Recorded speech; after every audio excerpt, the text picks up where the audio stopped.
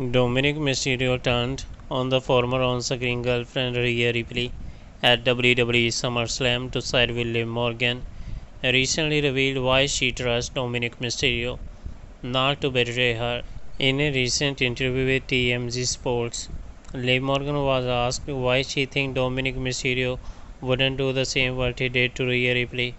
The women's champion revealed that the thought never crossed her mind claiming she has a significant reason to trust her Dominik Mysterio.